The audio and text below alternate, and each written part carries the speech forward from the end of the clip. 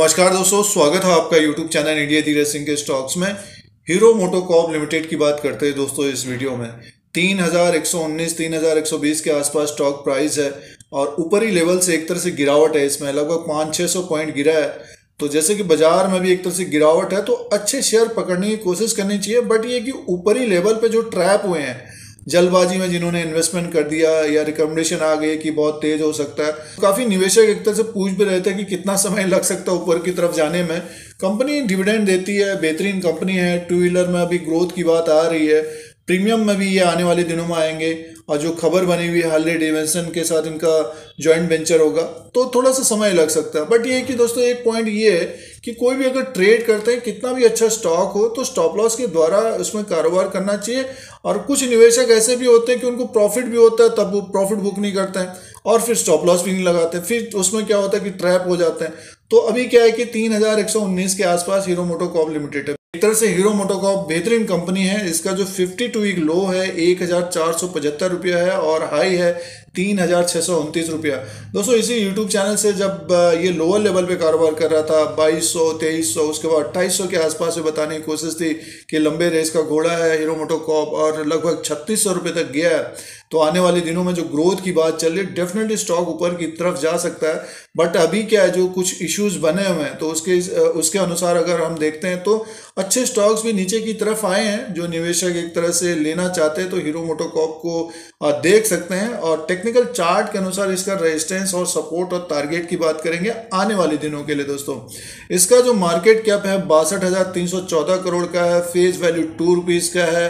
और price performance की बात करते हैं तो दोस्तों हीरो मोटोकॉप में एक महीने में अभी तक इसने सात, आठ परसेंट का माइनस रिटर्न है, क्योंकि ऊपर के लेवल से एक तरह से गिरावट में है। और एक साल की बात करते हैं तो 82 परसेंट का रिटर्न दिया है और तीन साल में अभी भी माइनस में है दोस्तों। 11 परसेंट का माइनस रिटर्न दिया है तीन साल। सिर्फ़ डिविडेंड लिया है निवेशकों ने एक तरह से।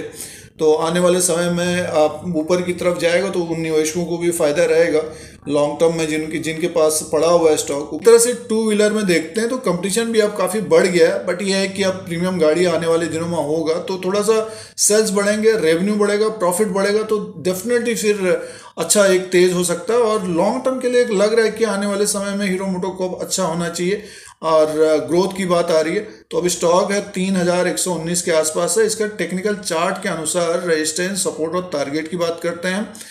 जो शॉर्ट टर्म के लिए भी कारोबार करना चाहता है लॉन्ग टर्म के लिए एक तरह से दोस्तों, इसका जो Q4 का रिज़ल्ट आएगा, देखना पड़ेगा कि अब डिविडेंड का भी अनाउंसमेंट हो सकता है उसमें। तो अगर उसमें रेवेन्यू और प्रॉफिट अच्छा रहता है, जैसे फरवरी का सेल्स भी इसका ठीक ठाक आया था अभी मार्च का भी सेल्स अगर बढ़िया आता है तो फिर रिज़ल्ट भी अच्छा आना चाहिए और स्टॉक ऊपर की तरफ़ भागता हुआ नज़र आ सकता है दोस्तों। आइए टेक्निकल चार्ट में इसका नज़र डालते हैं। दोस्तों, ये हीरो मोटोकॉप लिमिटेड का चार्ट लगा हुआ है कैंडल्स है डेली के। देखिए, एक तरह से 3600 के लेवल से इसमें गिरावट है दोस्तों।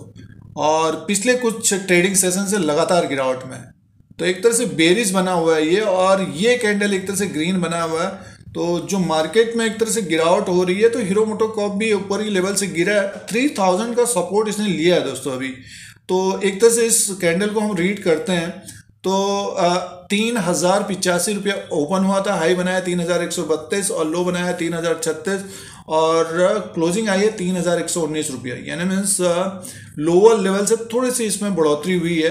तो जो सपोर्ट होगा दोस्तों, एक तरह से थ्री थाउज़ेंड का होगा। अगर थ्री थाउज़ेंड के नीचे अगर ये लुढ़कता है मीन्स नीचे की तरफ़ क्लोजिंग होती है। तो फिर एक ड्रॉप आया था, इससे पहले अगर आपने देखा होगा जो ट्रेड करते हैं, लगभग उनतीस सौ रुपये तक आ सकता है।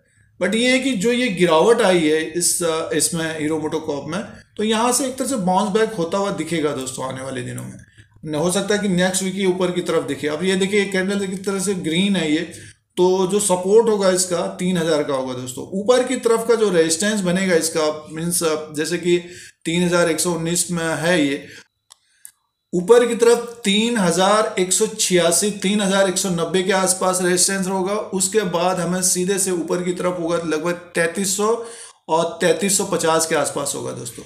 तो ये ध्यान देने वाली बात है अच्छा खासा जंप हो सकता है यहाँ से। मान के चलिए कि इकतीस सौ उन्नीस के आसपास है तो तैतीस सौ पचास तक ये जाता हुआ दिख सकता आने वाले दिनों में। जो जिन्होंने अभी लिया है तो उनको एक तरह से होल्ड करना चाहिए और जो ऊपर के लेवल में फंसे हुए हैं लगभग मान के चलिए बत्तीस सौ, तैतीस सौ के आसपास तो उनको भी होल्ड करना चाहिए। और जिनके पास समय है तो डेफिनेटली ये फिर 3350 के ऊपर भी जाएगा और लगभग 3500 का एक टारगेट होगा दोस्तों ऊपर की तरफ़। जैसे ही जिस तरह से इसमें गिरावट आई है, उसी तरह से ये बढ़ता हुआ भी दिख सकता है। अभी देखिए मार्केट में हो क्या रहा है कि ऊपरी लेवल से थोड़ा सा दबाव बना है तो अच्छे स्टॉक्स भी एक तरह से गिर रहे हैं। और ऑटो सेक्टर में ग्रोथ की बात आ रही है और हीरो मोटोकॉप का स्टॉक नीचे की तरफ़ अगर कोई इसको बाई करना चाहता है। सपोज़ थोड़ा सा समय देके बाई करना चाहता है तो डेफिनेटली इसको देखिए और इसका जो एक टारगेट रखा गया था, जब ये लोअर लेवल पे भी कारोबार कर रहा था, छब्बीस सौ, सत्ताईस सौ के आसपास, लगभग फोर थाउज़ेंड का टारगेट रखा गया दोस्तों, और हो सकता है कि दो हज़ार इक्कीस में ये फोर थाउज़ेंड तक भी जाता हुआ दिख सकता है। अच्छा खासा ये गेन हो सकता है। और रेवेन्यू और ग्रोथ अगर बढ़ता है तो फिर और भी तेज़ी की संभावना रहेगी। तो जिनके पास एक तरह से टाइम है, वक्त है लॉन्ग टर्म की बात जो करते हैं, इस स्टॉक के ऊपर नज़र ज़रूर बनाए के रखिए। और अभी गिरावट में है, अगर कोई खरीदारी भी कर रहा है तो पार्ट के अनुसार देखना चाहिए यानी में से अगर किसी को 200 स्टॉक खरीदने हैं या फिर 100 खरीदने हैं 50 खरीदने हैं तो 50 परसेंट खरीद लिया, फिर देखा कि स्टॉक अगर नीचे की तरफ़ आ रहा है, लगभग 100 200 300 पॉइंट नीचे की तरफ़ है, फिर से इन्वेस्टमेंट किया है। तो इस तरह से देख सकते हैं। और जो इसके बीच में ट्रैप हुए हैं तो उनको होल्ड करना चाहिए दोस्तों। मार्जिन और T plus five T plus seven इस तरह का कारोबार करते हैं तो गेन होता है तो उनको एक तरह से अपना सौदा कार्ड लेना चाहिए। तो ये अभी क्या है कि चार्ट के अनुसार बेरिस बना हुआ थ्री थाउज़ेंड का इसका सपोर्ट मिलना चाहिए। लगभग और गिरता है तो सौ पॉइंट और नीचे की तरफ़ आता हुआ दिख सकता है। बट यहाँ से अब एक तरह से बाउंस बैक होता हुआ दिख सकता है दोस्तों, क्योंकि ऊपर के लेवल से काफ़ी गिर चुका है ये। तो बाउंस बैक होना चाहिए हीरो मोटोकॉप का, और फिर से ऊपर की तरफ़ हमें लगभग पैंतीस सौ तक का एक टारगेट होना चाहिए आने वाले समय में। हो सकता है कि अप्रैल में ही दिख जाए। ऑटो सेल्स के भी आंकड़े आएँगे, उसमें अगर अच्छा होगा तो एक तेज़ी की संभावना रहेगी। तो बेहतरीन स्टॉक है धीरे धीरे बढ़ता है, मगर ये आइशर मोटर की तरह उतार चढ़ाव नहीं होता है। बट ये कि हीरो मोटोकॉप भी एक तरह से अगर कोई पोर्टफोलियो में देखना चाहता है तो इसको देखना ज़रूर चाहिए।